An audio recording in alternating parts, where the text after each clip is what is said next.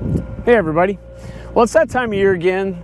The time of year when the ducks and the geese and the caravans migrate north from their winter wintering grounds back up north to do whatever ducks and geese do. But the caravan, she's going back up to Baldwin, Wisconsin to throw skydivers all over the sky for another season. And that's what I'm doing today. I'm ferrying the caravan up to uh, Baldwin, Wisconsin. I'm here in Orange, Virginia, where the caravan spent the winter. And it's going to be a long flight because of course it's headwinds the whole way. And of course the weather is never perfect. I'm going to have to deal with um, winter storm thurmond or whatever it is. So i've got some low ceilings and visibility and snow and rain and lightning and volcanoes and an eclipse and all kinds of problems that i'm going to have to deal with today. But we'll see how far we can get before it gets dark and i get scared anyway let's go fly the caravan Alrighty, well here we go. We're heading off from Orange, Virginia. See if we can make it to Baldwin, Wisconsin. Looks like it's going to be a fun trip. If not a long one. One of the things that's real fun about the Caravan is it doesn't have an autopilot. I mean, it's got one. It just, you know, doesn't work. I mean, who needs an autopilot anyway? I got these things called hands, and they go on the steering wheel, and they do all the stuff with the things, which should work just fine. Yes, undercarriage, mixture, props, pumps, trims are set, seats where I like it. Flight controls free and correct, engine instruments are good. Orange traffic, Caravan 1 Fox Lima departing 26 Orange.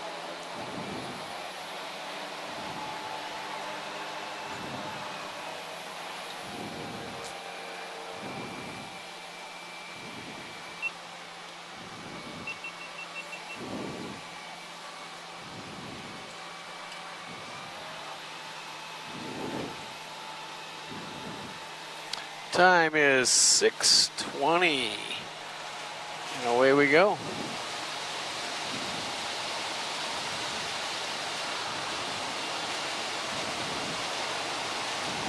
Speed's alive. And when it's just me in the plane, she gets up real nice and fast.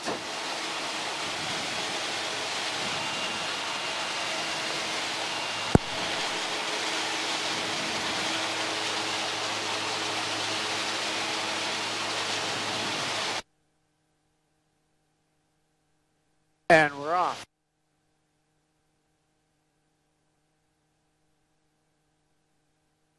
And right away, we've got some mountains in our way, and you know, some mountain obscuration because it's snowing and crappy out, and still not horrible, horrible.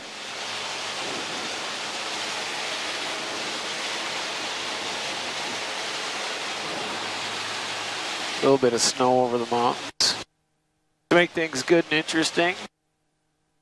See we got for ceilings ahead of us here. Right here, it's not bad. Uh, 9, 10,000 over the mountains, that's good. I'll at least be able to get over the mountains before I get into the bad stuff, which is nice, but I got some uh, 1,200 foot ceilings, 14, 800. Then it improves.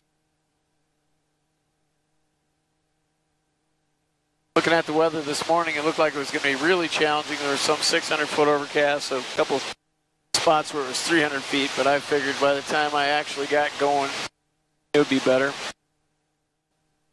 Yeah, a couple of two and 300 foot ceilings just popped up. I could see, yeah, it's snowing pretty good over the mountains over on that side. That's one thing to scud run over the flatlands when you're kind of flying over mountains, even the Smoky Mountains, are not the Rockies, but still pretty hard hills. You want to make sure you got good visibility, or at least moderate visibility. So this first ridge I came over, no problem. Looks like the looks like the uh, mountains are about thousand feet below the clouds. They're obscured off to my north. And straight at my direction of flight, it looks maybe. I'm going to keep going. I see a 1,200 foot. 1,200 foot will do. It's a little bumpy. There's a bit of wind up here, but it's not crazy.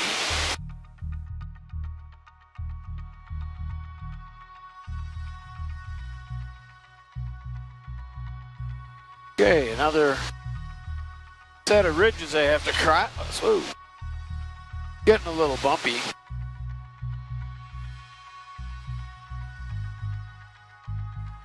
And I can see the ridge ahead of me and the ridge after that, so the visibility is still okay. Up ahead I got 1,400 foot ceilings.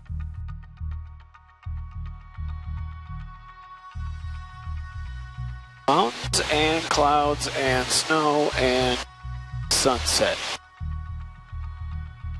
I love it when a plan comes together. That area right in front of me looks a little darker than some of the other areas. I'm gonna scoot a little north. I see on the radar, I got a little snow, a little snow action going there. Now, if I was just out pleasure flying today, I wouldn't be doing this. But as a ferry pilot and the actual customer, because I'm the one who needs this plane tomorrow, I'm pushing things just a little bit. You know, reduce visibility, snow, mountains. Not the greatest combination in the world, but we're still showing 1,400 foot ceilings, climbing to 3,400. I'm still going to go around this little spot there, kind of sneaking up toward the 4,000 foot ceilings. At least that's what they're saying. That's not what I'm seeing.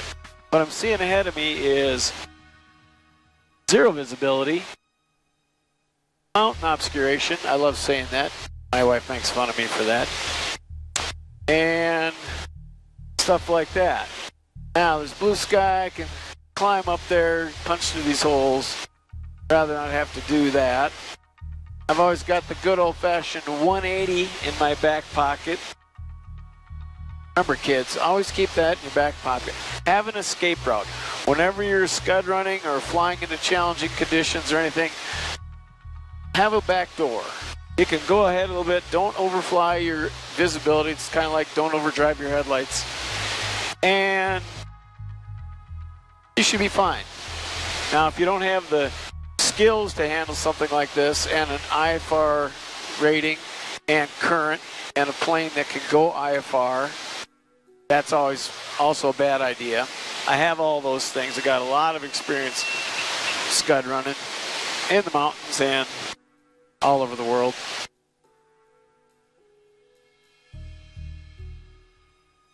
But that doesn't mean I'm invincible. Not at all.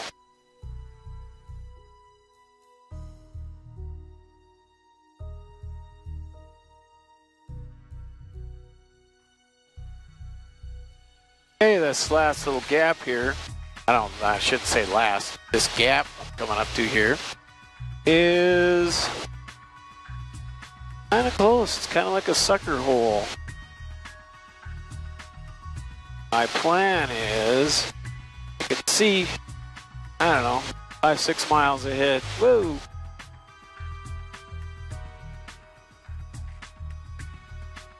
if it keeps going, I'll keep going. If not, I'm going to punch up. Oh, there comes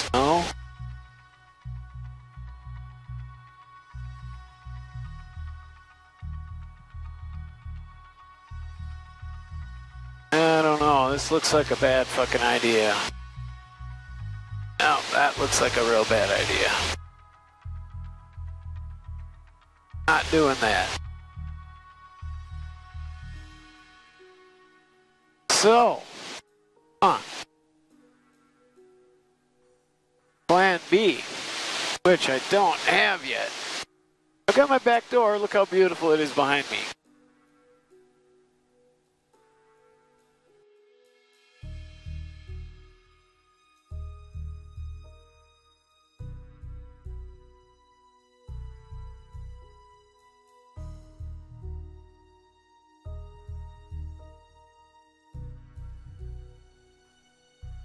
Well, this doesn't seem like it's getting any better at all.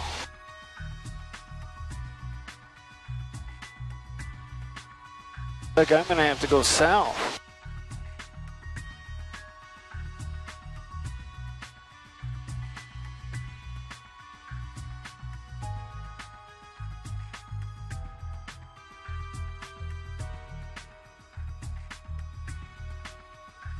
Yep, north was worse.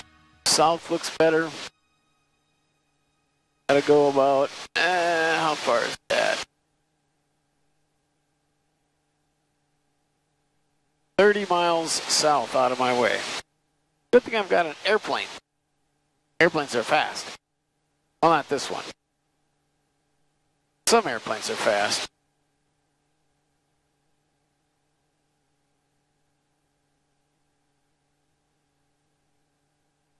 Yeah, that stuff over there, that's what you don't want to fly into. And that will suck you in, and you get down into the valleys, and pretty soon you're IFR.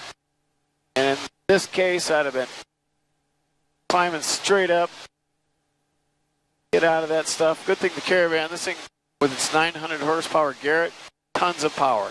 I had a shot up to the top of this stuff, man. It's only 1,000 feet thick. But that was that's an emergency plan. You don't want to rely on your emergency plan. That's the last ditch, don't get killed move.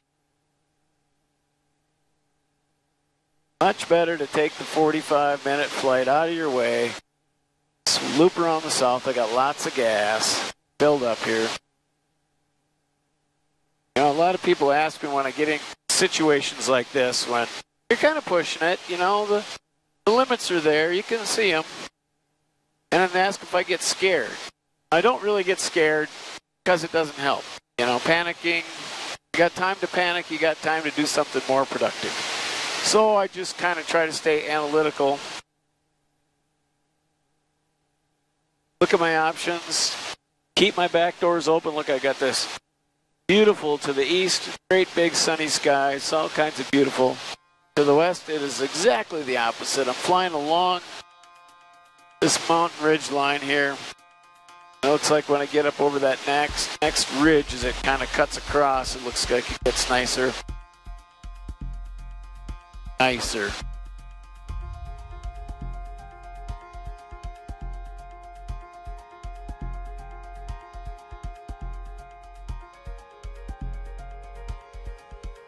Now I always could have turned around and gone back to Orange. Stayed with Elijah, the pilot that used to fly for us last year. He's flying here at Orange this year. He's got a house, free place to stay. Get up in the morning, do that. But there's no guarantee that it's going to be nice in the morning. And being six hours from the drop zone, and we're opening at one o'clock, that means I got to get rolling really fast. And I like to get up early in the morning. And I've got a job to do tonight, so at least get halfway. We'll see what happens.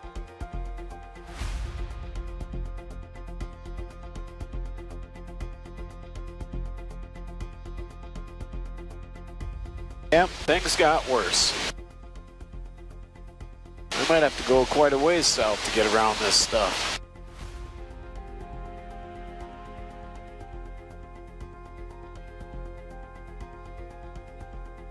Which is annoying because the plane is really expensive per hour and the gas isn't cheap either.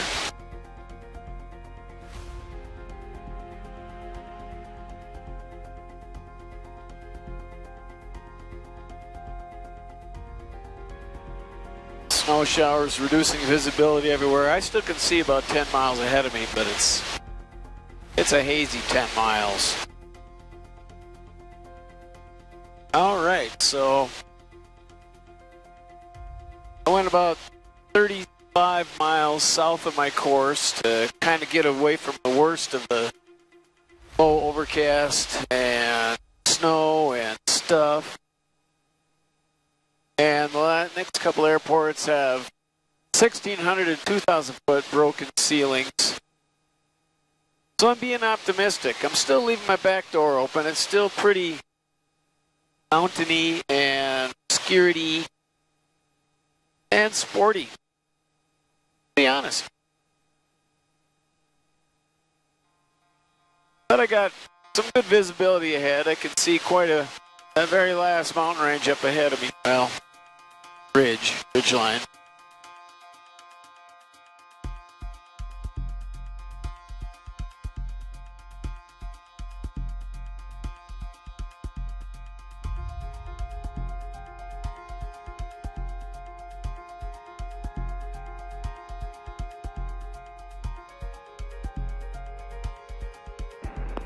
Greenbrier Valley Airport.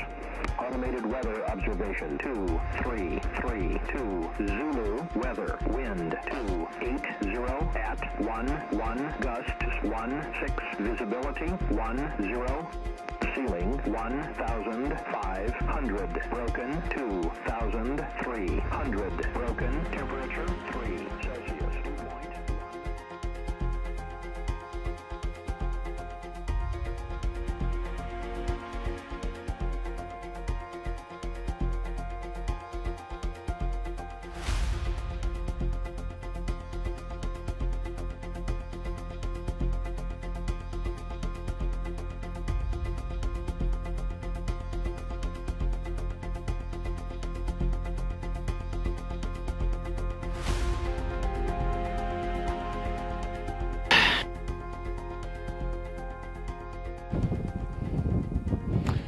All right, well, that didn't go quite as planned.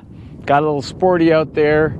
You know, one of the problems when you're trying to go through a bunch of mountains is all the airports that are in the mountains are located down in the valleys, so they're all reporting VFR, but the peaks are all obscured.